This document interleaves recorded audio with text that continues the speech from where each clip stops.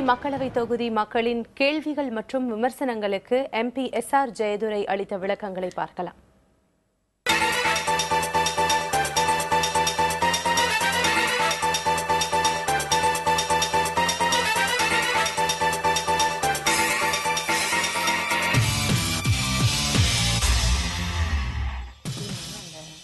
சிங்கம் டூல பாடும் விட்டுருமா வண்டி விடுறேன்னு சொல்லி கோரிக்கை வச்சாங்க. அது தொடர்ந்து பழனி டு திருச்செந்தூர் வண்டி கோரிக்கையை தொடர்ந்து வச்சுக்கிட்டு இருந்தாங்க அது இது வ- வருஷம் மாதந்தோறும் கிட்டத்தட்ட டிசம்பர் மாதம் பாங்க அடுத்த இன்னைக்கு பேப்பரில் பார்த்தா ஜனவரி இருபதுலங்காங்க. இது நீ நாள் தான் போய்கிட்டு இருக்க தவிர இந்த வண்டி விடுறதுக்கு ஆள் வசதி கிடையாது. பல திட்டங்களை அறிவிச்சு பல சிறப்பு ரயில்கள் புதிய ரயில் அறிவிச்சு அறிவிப்பில் பேப்பர்லேயே இருக்குது இன்னும் மக்களுக்கு அந்த திட்டம் வரல அவர். அதே மாதிரி மின்சார இது மின்சார ரயில். அந்த ரயில் பாதை அந்த பாதை வேலைப்பாலும் ஆரம்பித்து பாதியில் அந்த ரயில் நிற்கும் அதுவும் முழுமையாக பெறலை. பல ரயில்கள் வந்து அறிவித்து பட்ஜெட்டில் அறிவித்து பட்ஜெட்டாக நிற்கும் பேப்பரில் எழுதுனது பேப்பராக நிற்கும் மக்களுக்கு எழுது எதுவும் செய்யலை. தூத்துக்குடியிலிருந்து மூணு ட்ரெயின் திருச்செந்தூரில் இருந்து மூணு ட்ரெயின் கோயில்பட்டி வழியாக நான் முயற்சி செய்து ஆறு ட்ரெயின் வந்திருக்கிறது. மொத்தம் ஆறு ஆறு பனிரெண்டு ட்ரெயின் வந்திருக்கு.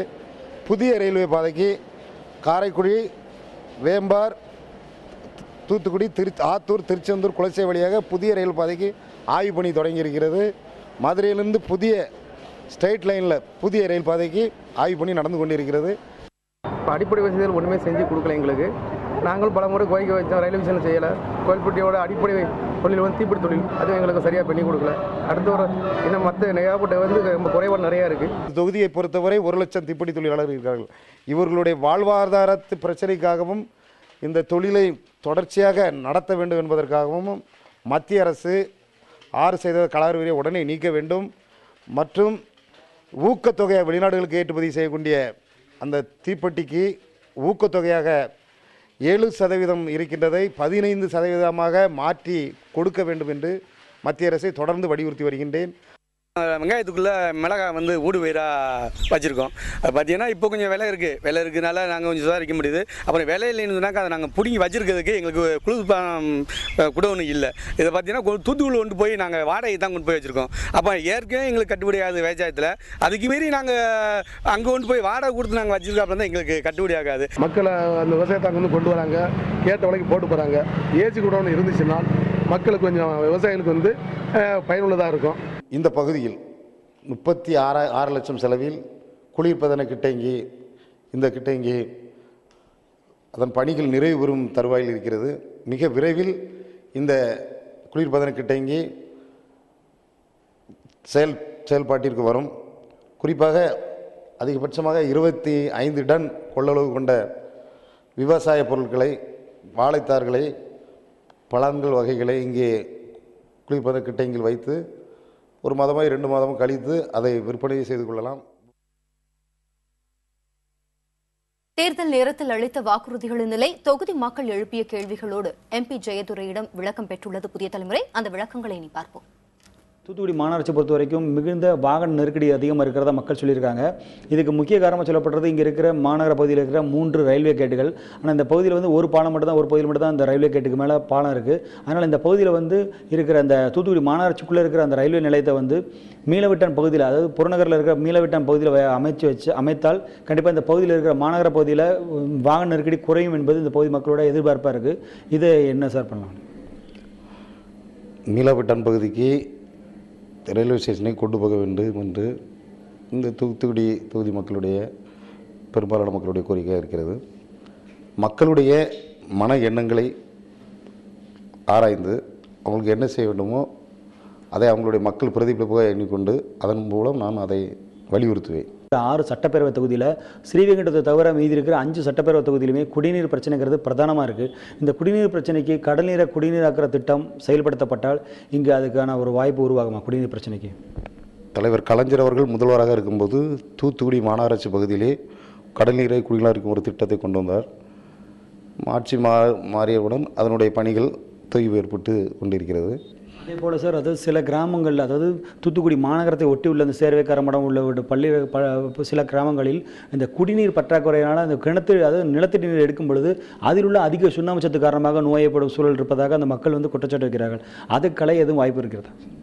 நானும் தூத்துக்குடி மாவட்டத்தில் தாமிரபரணி நதிக்கு ஓரம் உள்ள கிராமங்களை தவிர்த்துட்டு மற்ற தூத்துக்குடி மாவட்டத்துகளில் பெரும்பாலான இடங்களில் இந்த பிரச்சனைகள் இருக்குது நான் என்னால் முடிஞ்ச அளவுக்கு என்னுடைய பாராளுமன்ற உறுப்பினர் நிதியிலிருந்து குறிப்பாக பள்ளிக்கூடங்களுக்கு ஆரோ பிளான்ட் அதாவது நல்ல தண்ணீர் உருவாக்கக்கூடிய அந்த கருவியை அளித்துள்ளேன்.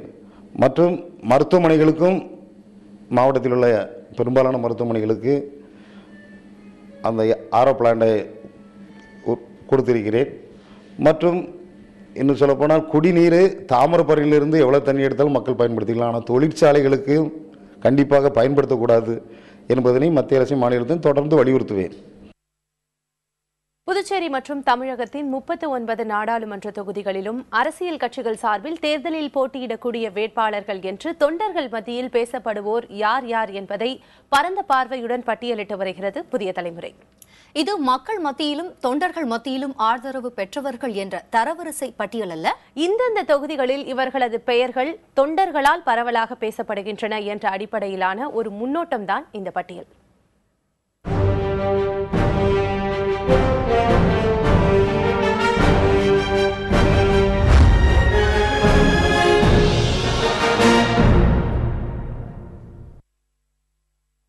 ஈரோடு மக்களவை தொகுதியில் அதிமுகவை பொறுத்தவரை ஊராட்சி ஒன்றிய குழு தலைவர் மணிமேகலை துணை மேயர் கே சி பழனிசாமி வழக்கறிஞர் துரை சக்திவேல் ஆகியோரில் ஒருவர் வேட்பாளராக அறிவிக்கப்படலாம் என்று எதிர்பார்க்கப்பட்ட நிலையில் செல்வகுமார் சின்னையனை ஈரோடு தொகுதியில் களமிறக்கியுள்ளது அதிமுக.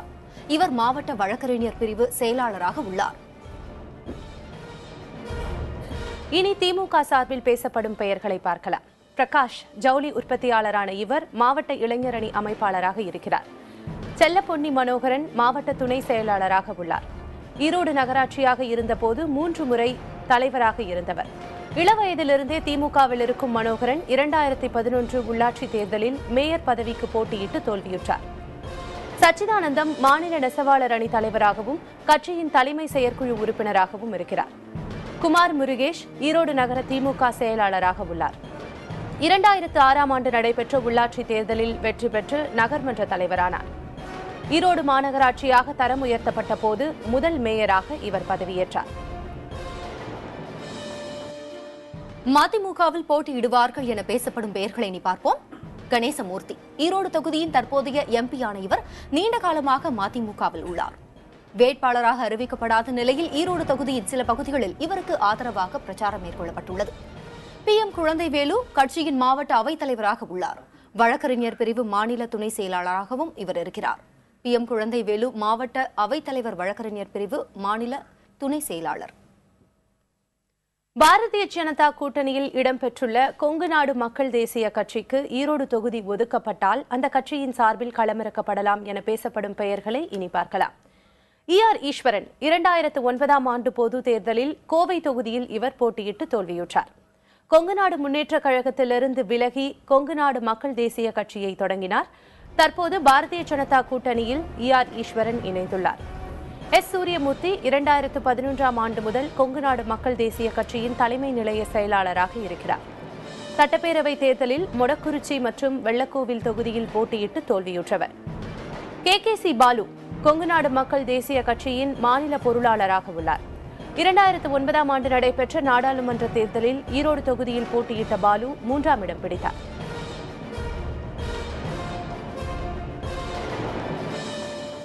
ஈரோடு தொகுதியில் காங்கிரஸ் கட்சியில் போட்டியிடலாம் என தொண்டர்கள் மத்தியில் பேசப்படும் பெயர்களை பார்ப்போம். இவி கே இளங்கோவன் காங்கிரஸ் கட்சியின் முன்னாள் மாநில தலைவரான இவர் சட்டப்பேரவை உறுப்பினராகவும் மாநிலங்களவை உறுப்பினராகவும் இருந்துள்ளார். இரண்டாயிரத்து ஒன்பதில் நடைபெற்ற தேர்தலில் ஈரோடு தொகுதியில் போட்டியிட்டு தோல்வி கண்டார். விடியல் எஸ் சேகர் தமிழ்நாடு காங்கிரஸ் கமிட்டியின் பொதுச் செயலாளராக இருக்கிறார். ஆயிரத்தி தொள்ளாயிரத்து எண்பத்து மூன்றில் மூப்பனார் முன்னிலையில் காங்கிரஸில் இணைந்த இவர் கட்சியில் பல்வேறு பொறுப்புகளை வகித்துள்ளார். இரண்டாயிரத்து ஒன்றில் நடைபெற்ற சட்டப்பேரவை தேர்தலில் ஆயிரம் விளக்கு தொகுதியில் போட்டியிட்டு தோற்றார். இரண்டாயிரத்து ஆறில் காங்கேயம் தொகுதியில் இருந்து சட்டப்பேரவைக்கு தேர்ந்தெடுக்கப்பட்டார். மக்கள் ஜிராமன் இந்திய உணவுக் கழக உறுப்பினராக இருக்கிறார். ஆயிரத்தி தொள்ளாயிரத்து தொன்னூற்றி நான்காம் ஆண்டு முதல் மாணவர் காங்கிரஸ் இளைஞர் காங்கிரஸ் அமைப்புகளில் பொறுப்பு வகித்துள்ளார் இவர். தேமுதிக சார்பில் போட்டியிடக்கூடும் என தொண்டர்களால் பேசப்படும் பெயர்களை இனி பார்க்கலாம். Imayam N S Sivakumar. Vijayakanth ரசிகர் மன்ற பொறுப்பாளராக இருந்த இவர் தேமுதிக தொடங்கப்பட்டவுடன் கட்சியின் நகர செயலாளராக நியமிக்கப்பட்டார். தற்போது மாவட்ட செயலாளராக உள்ள இவர் இரண்டாயிரத்து பதினொன்றாம் ஆண்டு மேயர் பதவிக்கு போட்டியிட்டு தோல்வியடைந்தார். நமச்சிவாயம் விஜயகாந்த் ரசிகர் மன்றத்தில் பணியாற்றிய இவர் தற்போது கட்சியின் மாவட்ட பொருளாளராக இருக்கிறார்.